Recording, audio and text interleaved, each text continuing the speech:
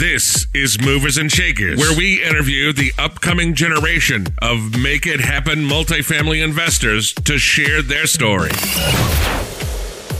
Welcome to the Movers and Shakers podcast. My name is Gino Barbaro, the co-founder of Jake and Gino, multifamily investor, educator, father, mentor, and I am joined by my co-host, my brosif, Joshua Ryan Rusin, the community director of Jake and Gino. Josh, how you doing today, bro? Gino, doing well, man. You know, super excited. I was just thinking this morning about our annual live event, Multifamily Mastery Live, and just the caliber of guests and attendees that we're going to be having at that event. Guys like Eric Thomas, the top motivational speaker in the world, Cole Hatter, who just crushes it in business and life and real estate. Gino, how are you? Josh, I'm doing good. It's a little raining today, to be honest with you. My level of energy is a little low, but once I saw the guest we had on today and spoke a little bit about his story and found out that, you know, he found us through one of these live events last year. His his brother's been part of the platform for a couple of years. I want to dive into limiting beliefs a little bit on this show because I think limiting beliefs hold us back. And I think our guests found that, you know what, I can do it. I just got to surround myself with the right people. I have to have the right mentors and I have to take action. I think his story is going to be fantastic for us. Um, having a great day. How about you, bro? Love it, man. So, actually, like you talked about, our, our guest today, Jacob Anderson. Uh, he's actually from Cleveland, Tennessee. So, he's at the hometown state over here in Tennessee and attended business classes at Lee University. Now, after college, he became a full time health and life insurance agent and later purchased Green Tree Financial. Since then, he and his firm have been a top producer with several Fortune 500 companies. Now, Jacob started his real estate career in 2005 after an employee of his needed to sell two duplexes.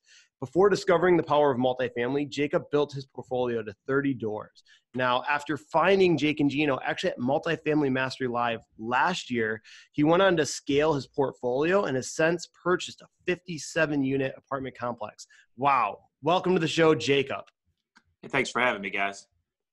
So let's dive into this, Jacob. I mean, you, you decided to go to college. You know, I, I want to hear kind of why you decided to go into life insurance and then really creating that successful business, why real estate came into the picture, and even more so, why you decided to scale up with it. Well, um, I kind of had a little bit of an inside track to the insurance field because our dad had been in that for years.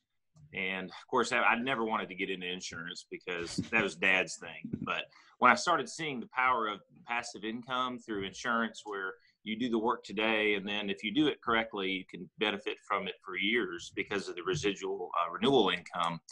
Uh, it kind of attracted attracted me. I was a you know a young college guy and saw what I could make, so did that for a few years, and then uh, uh that's kind of what attracted me to real estate uh, rental uh, income because of the tax advantages, obviously, of rental income and its passive nature, where, I mean, you still have some active uh, duties involved in it, but it's just like insurance where, you know, you can continue to benefit for years.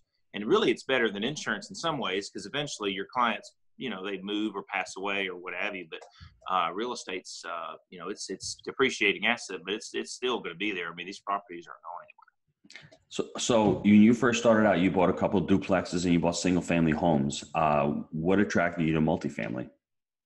Well, um, multi, I didn't, I didn't do multifamily for several years, uh, mainly because uh, we were purchasing distressed properties, bank foreclosures. Uh, did a lot of sweat equity ourselves in the beginning. My wife and I would do a lot of the painting, and boy, that tested our marital uh, our marriage quite a bit. Just working together, it was a good building process for us. But you know, you can. It, it, takes as much resources we've discovered to do one house as it does to do a, a 57 unit property. Can you say that again? That's really important for everybody here. What you just said, because I totally and 100% agree with what you just said. Well, we've discovered that it, that it takes as much time, energy, and, and, and resources to do one property, which is going to yield one rent, than it does to take down a 57 unit property uh, and it was funny because we bought a house right about the same time that we bought the 57 unit. And I was still struggling with the house, getting stuff done to it, fixing stuff we didn't know about.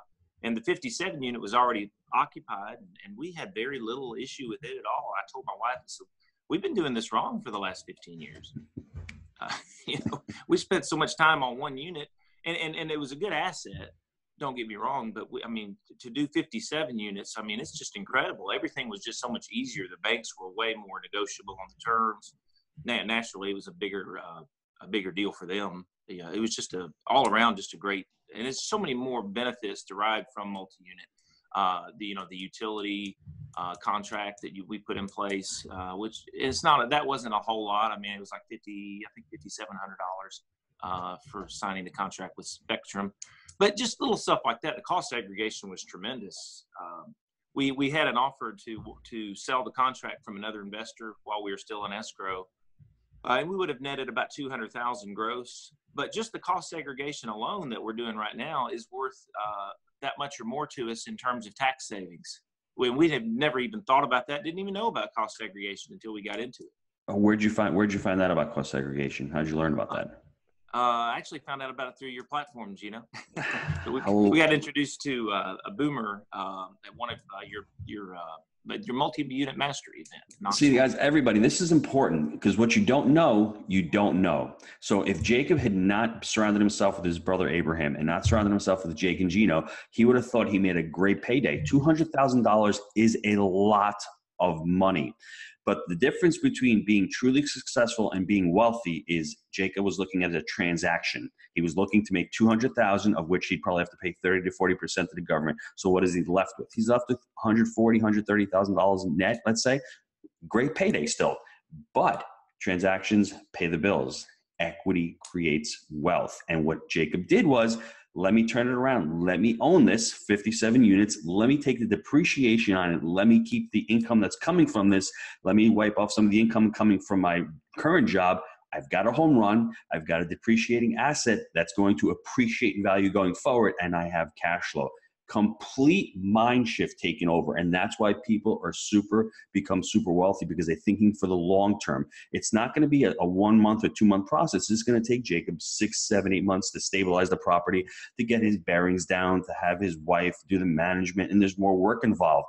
But i think that work on the front end is going to lead to so much more value on the back end. I mean did i summarize it pretty good or would you like to add anything to that jacob? No no that's perfect. Um, no that's exactly right uh, as you peel the layers off one at a time, it just makes so much more sense to do the multi-unit. I mean, it just just even if you have to, uh, even if you have to bring on partners, I mean, it's just the way to go. We were fortunate that it stressed us a little bit, but we were able to do this without partners. But uh, but I think I can see the benefit of that if you have to do that.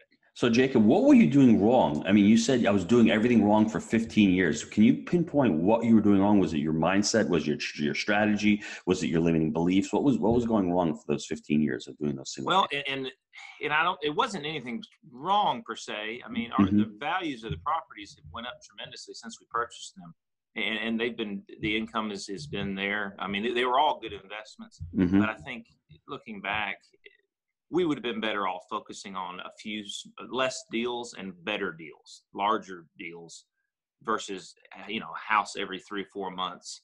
We've been better off doing one large multi-unit a year even uh, because you have so much control over the value of that asset, as you know. The you know house. I mean, you only can do so much. I mean, the comps are you're limited by your comps. You're limited, always limited by your comps. But with the multi-unit, you have so much more control and you can leverage so much better you know with 50 units units. I mean how long would it take us to do 50 houses?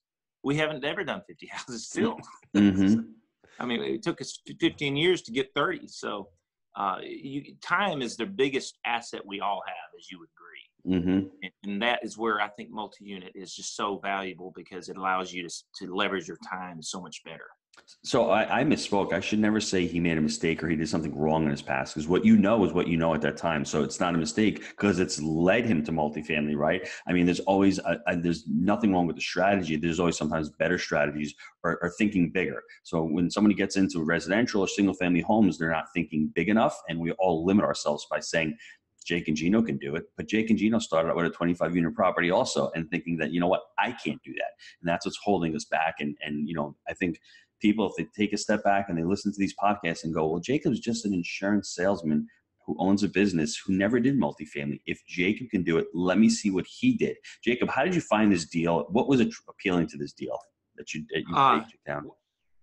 Well, it was, it was listed uh, by actually a realtor, and I just happened to. Uh, I've got Realtor.com uh, set to where I get auto emails when properties are listed that meet you know our criteria, and so it was actually a listed deal. Uh, but we were quick. I called my broker, who's a, a friend of mine, and said, "Hey, we got to get and look at this. This is a little bigger than I was looking for, but I said, well, let's, let's take a look at it."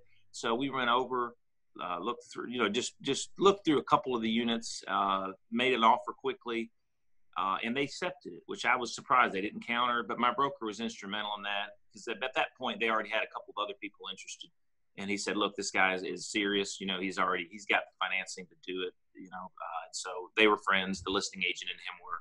And they just took the offer. I think they were afraid to go back and forth too much. And the real the the, the seller was out of, had moved out of state. He had uh, a lot of incentive to sell, and it just worked out. So, as a mom and pop seller, then, as somebody who's motivated that you you identified, um, what was the what was the offer price, and what did you what was your strike price and the offer price on the property? It was listed at one million nine nine four, and we offered one seven five zero, one million seven fifty. And they took one seven five zero, huh? Wow. Right, and they was, purchased that for two million back in 07 originally. Wow. So okay. I was I was surprised that, and it worked out uh, that they just took their offer no counter, and I thought, man, this is we're getting a heck of a deal here. Wow. So um, when you saw the deal, where were the value adds? What did you like about the deal? Well, what we liked about it was the location of the property was right next to Cleveland State College, which is one of the fastest growing colleges in Tennessee. Uh, it was right off, right near Target, a main shopping center, right off the interstate. Uh, it was a great property. All the units were one level. Uh, it was all one story. Uh, it had plenty of parking. Uh, they all had washer and dryer hookups. The, the value adds were the rents were really under market. Some of those people have been living there for nine and ten years, which we like, but mm-hmm. There was tremendous opportunity to increase value through uh, through you know raising the rent to to what they should be today. And anything on uh, ratio utility with it was the tenant were the tenants paying water bills? Or are you able to, to bill that back? There, the, the, owner was paying the water, and we're actually in the process of implementing RUBS, which we haven't fully done yet. Uh, but we, we are doing that because it's about a three thousand dollar a month water bill, which um, you know obviously that would increase the value of the property tremendously. Tremendously. So everyone get their calculators out. Three thousand times twelve is thirty six thousand dollars. You divide it by. Would you say it's a seven cap environment? Seven cap. Oh market? yeah, yeah, seven cap. So do thirty six thousand divided by 0.07, and that's how much value you're going to increase by pushing off the. Uh, that value onto the tenants and it's it's something sounds like something that it's already happening in the market so there's a couple of buzzwords in there for everybody um, jake and gino students are always looking for value adds washer dryer hookups are huge. If you have washer dryer hookups, that's an additional 20 to $25. And tenants are looking for washer dryer hookups. So that's an amazing value add that if, if the landlord's not charging for that, that's something where you can obviously do. What about the expenses on the property? Were the expenses, was the property being run well from an expense standpoint? I didn't think it was. Uh, the, the management company was, was really hitting him pretty hard. Uh, it was, they were charging 10% to manage mm-hmm. it, and they really weren't doing a whole whole lot. I mean, they had a rent box on the property where people would just pay the rent in the box, oh. and they would mm-hmm. just go and collect it out every month. Uh, it, the, the, the, management fee I thought was tremendous for what they were actually doing. Mm-hmm. Uh, so we knew we could reduce that right away. I do have a property manager in place that I use, but it's the, the fee is almost half of what these guys were charging. Uh, so that was that was a big difference. Uh, some guys run it themselves. I just couldn't do that with our insurance business. I just did not have the ability or time to. to I mean, I could do it. I just don't have the time to. But uh, but that was a huge uh, value add. It was just getting that reduced. Uh, as far as other, what was the question again? What, um, as far as other expenses, I just want to jump in here real quick and and well, you saw Jacob's growth. Five years ago, Jacob was changing toilets and painting and doing all the work. Now he doesn't have time to do minimum wage work, which is an amazing shift, right? If you can manage the manager and implement and put somebody in there, paying somebody 5% to do that work allows Jacob to make more money as insurance, allows him to save his marriage, right? Because he doesn't want to get divorced, right? You right. got to stay happily married because if you're buying multifamily getting divorced, there's no, there's no, uh, there's no reason to be doing that. And also, you're able to continue to grow and underwrite more deals and look at more deals and control. It's a business that Jacob's running. So I think that mind shift is just shown in what his what his um, actions are. So people can talk all they want, but the actions say it all. And the fact that he's actually got somebody doing the work, that's that's really impressive. And it might be when Jacob hits 200 units, he says goodbye to his insurance, and maybe he brings it in house and does a little multifaceted that gives them the opportunity. But I think that's an awesome shift over there. I mean, as far as other expenses, I want you to really take a look at your um, your contract services, your garbage, your landscaping. Um, you guys don't have much snow plowing down there, but your repairs and maintenance, a lot of that stuff down there. Uh, as far as cutting expenses, were you able to cut any, any other expenses on the property? Uh, yes, the lawn care was a big one, a lot bigger than I actually had realized because, uh, you know, dealing with smaller properties, that would never, never really was a big issue. But uh, Mhm. this was on six acres and it had a lot of areas that uh, it was a costly, uh, costly thing. We had to get a lot of bids and we finally got it down to uh, to uh, a lot less than what they had been paying prior. That's Two awesome. hundred fifty bucks. So. Wow, that's awesome. Um, everybody, let's just take a quick break to listen from our to hear from our sponsors. Gino, I know a lot of our listeners are wanting to take their multifamily investing business to the next level. I know that you've been hard at work helping Jake and Gino students do just that using our framework. Can you explain to the listeners how they can get our help? Guys, we've been hard at work growing our community of like minded investors, and the results of our members has been nothing short of incredible. We're looking to grow this amazing group. What we're looking for is those who want to follow our proprietary framework that we've created buy right, manage right, and finance right. Leverage our connections, education, and mentorship as ways to take your business to the next level. So if you're interested in finding out more about how you can become a part of our amazing community, apply to work with us at jakeandgino.com forward slash apply. Josh, I want to just uh, follow up just with a, with a couple more questions. Um, how did you finance this property? Uh, we um, we actually used a community bank that we had used in the past, but uh, this time before we just entered into an agreement to move forward, I went ahead and checked with a couple of your lenders first, uh, just to, to keep them honest because it was Mhm. such a large deal and every little bit would make a difference on this. So we actually were able to get them to change a couple of their terms. They wanted to do a uh, shorter amortization, we got them to do. We ended up at a 20 year, but they just did a 15% down, which which uh, which helped. And then they also lowered their um, their amortization. I mean their uh, origination. We got it down to half a point. So. Uh, so we ended up staying with the community bank. Our goal is to uh, refinance it to Fannie Mae after two years but um, it, it was helpful to have that relationship though because that was something that their selling broker wanted was a letter showing that we had already been pre-approved and all i had to do was text her and say hey i need this letter and boom she sent it over immediately. Even before i knew we were going to use her it still helped having that relationship. So that would be something i would say is make sure you've got a relationship with a banker in place first because i mean that that really i think made the difference in her taking us serious right off the bat And it's funny, we teach our students you can get 15% down, and we've done it multiple times. And here's proof in the pudding when you go out and you start pitting one bank against the other. I mean, the 20 year AM, we've gotten those. We don't like those, but if I have to sacrifice a little bit of amortization, a little bit of cash flow to put 5% down less than a deal, I mean, that's saving me a lot of money. And I don't have to go out and raise equity. I can come in with most of my money, not have to partner. So you have to weigh the options. And if your strategy is to refi after 18 months, you might get a year of interest only on this deal. So you might work that out and then after 18 months you refi and go into Fannie uh, go into Fannie or Freddie product, which is the refi and roll strategy. And you know, it looks like Jacob's going to be able to pull out the majority of his of his um, money that he puts down. I'm I'm assuming that his net operating income is going to go up enough to cover the additional debt, but he's going to get a 30 year amortization. He's probably going to get three years of IO from this deal. So his mortgage payment is probably going to stay the same and it probably might tick down a little bit because that extra 10 year AM. So um, this is an ideal property to, to refi and roll. He identified the value adds on this. He's got a strategy in place and he's going to, he's going to work the strategy and it, it's exciting. Are you looking at other deals right now? Are you looking to expand right now? Or are you just worried focusing on this property? Right now, we're just focusing on this one, and I'm building a. Uh, uh, we're building a 12,000 square foot office building, so uh, that's kind of taken a lot of our time. But once we get that completed, which should be hopefully by the middle of next year, we definitely are, are uh, going to be searching for more deals. And if another great deal came down the pipe, I would try to work something out. but Mhm. we're not actively searching for anything right at this moment. Um, So the, the, the apartment comp, the um, in 12,000 square foot building, is that going to house your insurance company?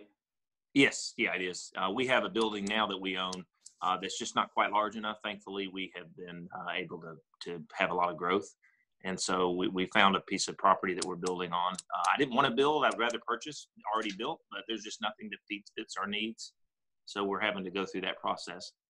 Josh, multifaceted, multifamily. He's going to be paying himself the mortgage and he's going to have a couple of tenants that help him pay the mortgage. It's an awesome strategy, everybody. Love it. And our cash flow, the way I've got it figured, should cover the, the note on on both properties. Which is awesome, dude. Great. That is awesome. Yeah, that's huge. All right, Jacob, I got a few short answer questions for you here. So, what's your best advice for anyone trying to buy their first multifamily property? Well, my first, my the first thing that I would do is get plugged into a live event, which sounds almost like a commercial, but I don't have any uh, incentive to say that. so uh, that really turned it for me when I was able to go to a live event, meet people that are doing it, and then I came home and told my wife, I said, "Honey, these people are doing it. They're no better off than they're better than we are." You know, so we need to look at this more seriously. But I think going to that live event really flipped the switch for me. And I can, I I'm can, multifamily mastery live, right? yes, Exactly. and I can piggyback off of that because Jacob, um, Jacob's brother uh, Abraham went to the 2017 first event, and I think he brought his father and everyone, and and I think they were a little skeptical, but then Abraham took his deal down, and then I think the next year he probably told Jacob, "You've got to come," and I don't think Jacob would have come without his brother. Am I correct on that one? I probably would not have, uh, but but yeah, he, he he dragged me in, and I'm like. Good little brother, Jay, Josh. You know what I'm saying? Good little brother. Love it. Uh, Jacob, what about your favorite book you've ever read and why? Uh, the Make Friends and Influence People by Dale Carnegie. I know that's one a lot of people mention. Uh, it's helped me out through insurance, uh, uh, through my career. That's that's been a book that uh, I really like. The Strangest Secret by Earl Nightingale, another great book. Uh, the one most recently that I've been reading was The Atomic Habit by James Clear. Uh, powerful book that really uh, helps us look at, at what we do daily without even realizing it, or everything we do is a habit, and that that has really uh, been an awesome book. Love it. I, How to Win Friends and Influence People is an, an annual read for me. That it's definitely one of the most impactful books I've read. Uh, what about your best habit for success? My best habit for success. Um, Listen to your little brother. That, that helps. Uh, my best habit, and I don't know that you'd call this a habit, but is just being conscious of what I'm doing with my time.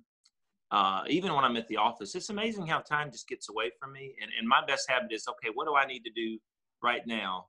Uh, you know, uh, the uh, the book. Um, oh, I can't think of it now. The, uh, The the One seven habits Thing? of highly effective Oh, people Yeah. you know do, doing the things that are, are that need to be done but aren't urgent so they don't become urgent later. Just kind of keeping a list of okay these, these things i've got to do today. If i don't i'm going to really have to do them tomorrow and then it's going to be an urgent priority. So just just keeping a priority list and just taking care of things without letting things get time get by because get, we're all busy. Time gets away from us and just kind of staying focused on task and not letting the distractions of the day kind of get in, in your way has been a big help to me. Awesome. Uh, Gino, I mean, this was a really powerful show, and, and there was a lot of golden nuggets in this one. Would, you- would you want to give the listeners kind of a, a recap of, of some of the takeaways from today? Um, there are a lot of things that we could mention. I think the first thing is just focus on and be clear on what you want with your with your life, with your business. I don't think Jacob uh, wants to leave his insurance company right away. That might be an option. Don't have limiting beliefs. Don't think that just because everyone else is doing residential and buying one house at a time, that that's good for you. Uh, plug yourself into a community or into an environment where others are doing what you want to do and, and see what they're doing and don't be afraid to ask questions don't be afraid to go out and network because real estate is a networking uh, task. I mean the fact that jacob had a community banker lined up for his 57 unit the fact that he had a broker that he leveraged to help him take this deal down those things don't happen by accident. There's a lot of hard work there's a lot of groundwork that jacob had to lay down. And also uh, you know learning how to take the property over and learning how to manage right. Those are things that jacob learned. So there's a lot of work that goes in on the front end. I think also thinking about having a big payday as opposed to delaying the instant gratification and, and working on it and trying to create a business out of multifamily is going to make Jacob super successful. And I get, I guess two years from now, he's going to have his 12,000 square foot building. He's going to have his 57 units and the 12,000 square foot building is another cost segregation. So he's going to be wiping off taxes on that. So you can see into the near future, Jacob's probably going to have a small tax liability. So it's not what you make everybody, it's what you keep, which is amazing. So um, let's not, we dive into that for another story.